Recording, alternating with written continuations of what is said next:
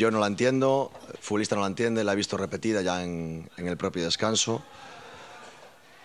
No sé, no lo sé.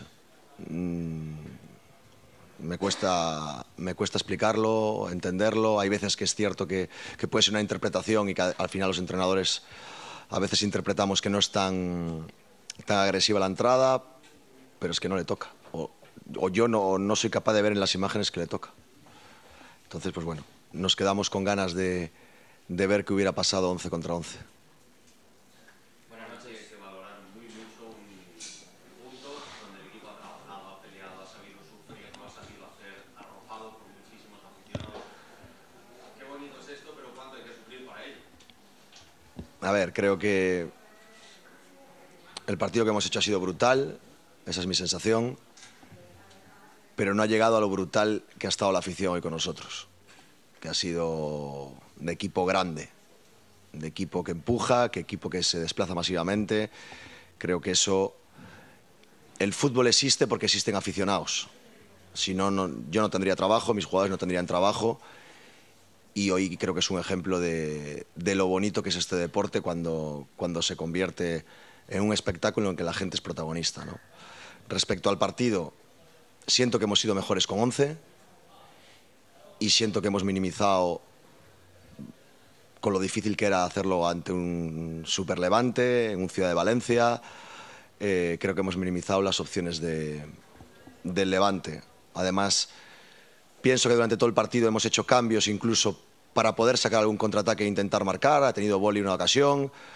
Eh, hemos salido valientes como prometíamos, así que estoy realmente feliz con, con, lo que ha mostrado mi equipo. Buenas noches, señor Rubén. ¿Qué manera de, de aguantar? ¿Me has llamado señor? Ah, vale.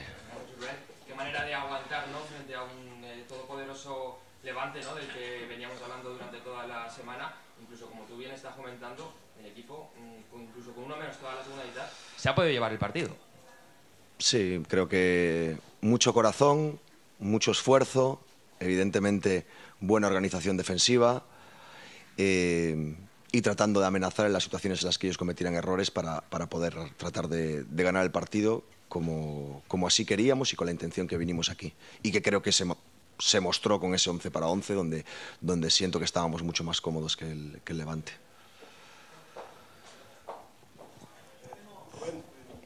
¿Cómo has planteado tácticamente el partido? Porque sí que es verdad, bueno, ayer no quisiste, bueno, en la prensa previa no quisiste comentar cuál era el jugador que te hubieras llevado para,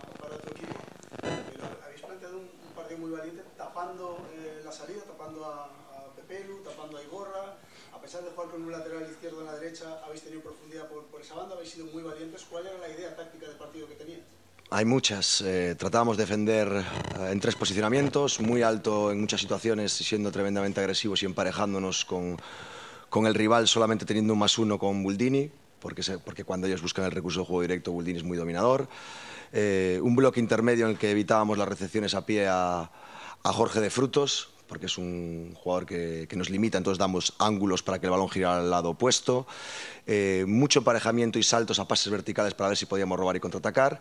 Y con pelota tratamos de ser cosas, ¿no? Tratamos de amenazar determinados espacios que entendíamos que ellos podían tener más debilidades y, teníamos, y tratábamos de tener la personalidad suficiente para ser capaz de girar ante un equipo que, que, se traslada bien, que junta mucha gente en fase defensiva cerca de la pelota y que no te deja mucho tiempo para pensar y por lo tanto el girar y ganar tiempo a través de cambios de orientación creo que nos, nos estaba funcionando.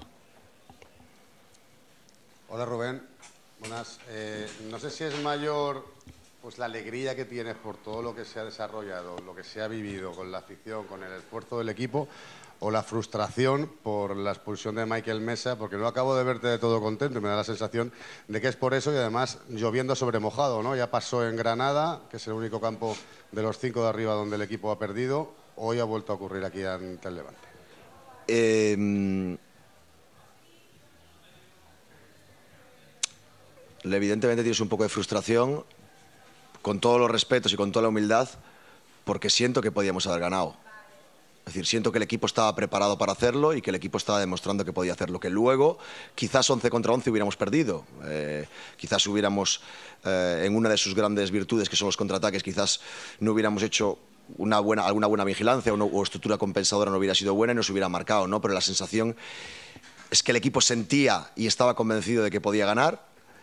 Eh, y esa es la parte, ¿no? Pero yo me quedo, ya sabéis que soy positivo y me quedo mucho más con todo lo bonito que se ha vivido hoy, con todo lo que ha pasado en el juego, con todo lo que ha mostrado el equipo, con, no sé, con, creo que hay veces que hasta defendiendo como lo hicimos en la segunda parte eres capaz de emocionar a, a tu gente, ¿no? Y creo que hoy ha sido un día de ellos. Más cosas positivas. Eh, han perdido los rivales directos que miraban a esa diana de la que hemos hablado. Este punto hace una distancia de seis, o sea que Sí, positivo. Eso me preocupa menos, me preocupa más lo nuestro, pero lógicamente si, si algún resultado te puede favorecer, pues genial.